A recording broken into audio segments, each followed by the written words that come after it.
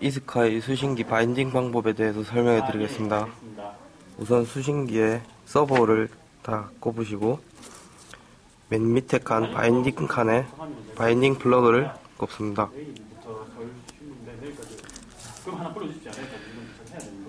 그 다음 수신기에 전원을 공급해 줍니다. 그럼 수신기에 불이 반짝반짝 빛나게 됩니다. 그 다음에 조종기에 binding 스위치를 누른 다음에 전원을 눌러줍니다. 그럼 조종기에 binding이라는 글자가 나옵니다.